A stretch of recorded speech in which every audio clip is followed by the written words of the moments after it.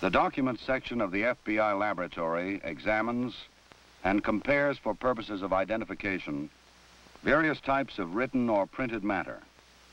These include typewriting, hand printing, and most frequently, handwriting.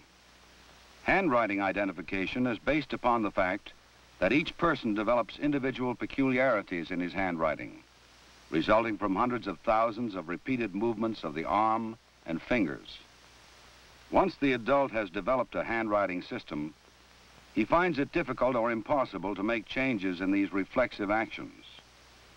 The courts agree with the statement that you see written here and will accept expert testimony on handwriting identification. Identification depends, however, on sufficient samples for detailed comparison. Then the expert document examiner can isolate such personal characteristics as beginning strokes, connecting strokes, letter formation, and relative heights of letters. When these and other characteristics recur with sufficient consistency and frequency, the expert examiner can make positive identification between a known and a questioned document. The document section of the FBI laboratory maintains and uses the National Fraudulent Check File to aid local law enforcement agencies in bogus check cases. The file contains perhaps the world's largest collection of bogus checks and of signatures used by professional check passers. Trained technicians search the file for similarities with checks submitted for investigation by local law enforcement agencies.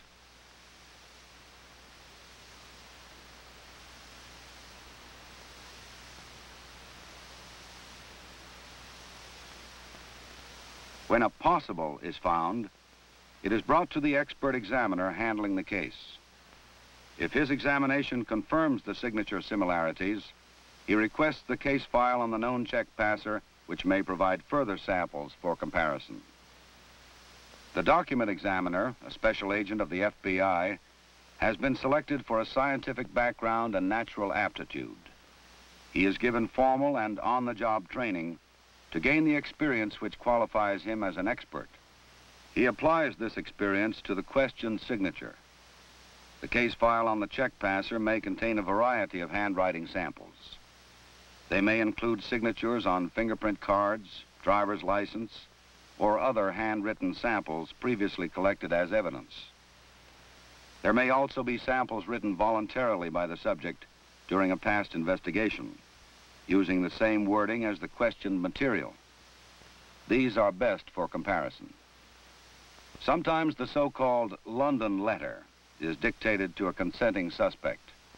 It is designed to reveal the maximum number of handwriting characteristics. The examiner, thanks to his skill and training, can transcribe the significant known and questioned letters to his worksheet with astonishing accuracy. Now he is ready to indicate similarities or differences in letter formation. He finds tiny recurring patterns of loops, lines, placement, spacing, script style, and many others, which even the professional forger cannot altogether eliminate. He indicates similarities in the known and questioned letters with an arrow. This analysis provides the basis for his finding and will support his report and possible court testimony. Many people believe that hand printing is more difficult to identify than handwriting. The extensive reference file of bank robbery notes, most of them hand-printed, helps to disprove this. A questioned bank robbery note sent in by a local law enforcement agency can be compared with these known samples. The technician's quick look turns up a possible. The examiner compares the note from the bank robbery note file and that received after a recent bank holdup. There are enough obvious similarities to indicate further study. He copies onto his worksheet letters which appear to have significant characteristics. This keeps the evidence free from undue handling or marking. He marks those from the file known and those from the evidence questioned.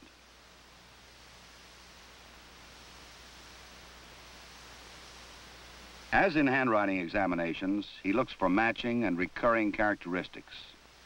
Letter formation, placement on the line, spacing, direction of stroke, and others. Although block printing has fewer signposts than handwriting, those that it has are obvious to the expert document examiner.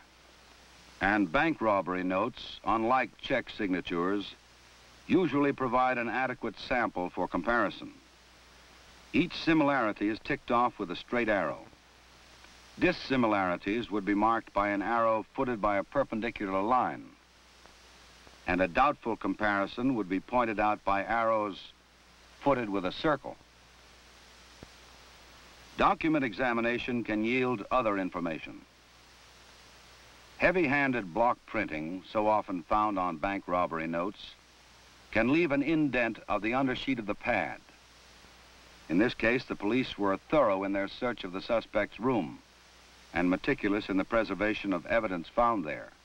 The examiner will have a specially lighted photograph made to back up his report on the content of the indentations. The examiner must be trained in other skills than the comparison evaluation of written instruments. He must be able to identify and date inks and papers using the standards of the FBI laboratory or the instrumental and chemical analytic equipment also available there. The notepad yields yet more evidence. The examiner confirms that the torn edge of the bank robbery note matches the torn edge remaining on the carefully preserved notepad. This too will be photographed and included in the examiner's report. Thus, his final report to the requesting law enforcement agency reflects his skill and experience in comparing hand printing, plus his knowledge and use of many other laboratory facilities and techniques. And he is available to testify as an expert witness at no cost to the requesting agency. This commercial office is visited by a police detective. He is there to look for evidence to be used in another important function of document work, typewriter examination.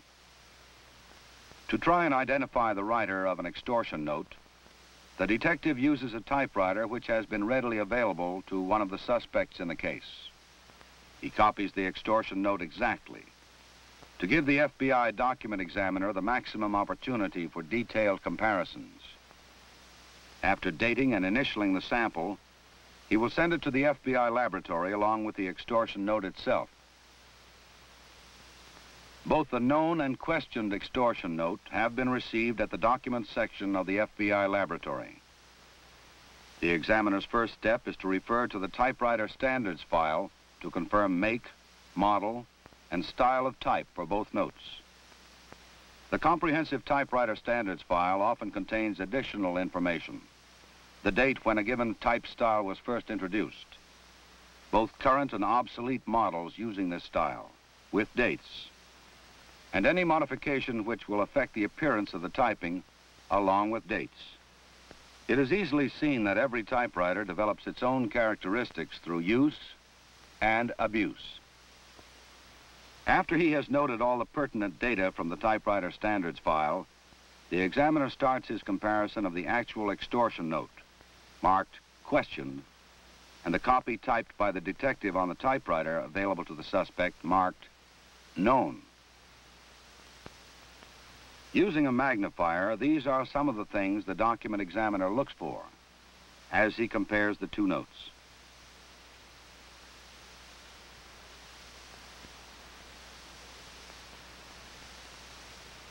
The T of the questioned note repeatedly prints above the line. This is not so in the known copy, and he marks it dissimilar. One I also strikes above the line, but this may be due to shift key in motion.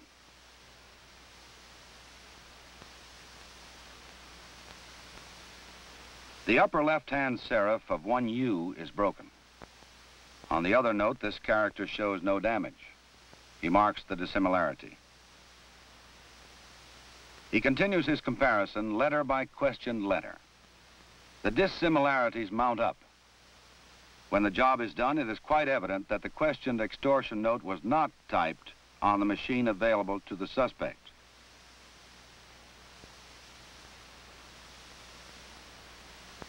Reports sent to the requesting agency by the FBI laboratory examiners may indicate innocence as well as guilt. In many cases, the examiner testifies in court as an expert witness. His services are available to the law enforcement agency without charge. Examiners bring with them whatever can be used to support and explain their findings to a jury. The fraudulent check identification which this examiner made is admissible evidence in court. Document examination, used to convict the guilty or to clear the innocent, is a powerful weapon in the war against crime.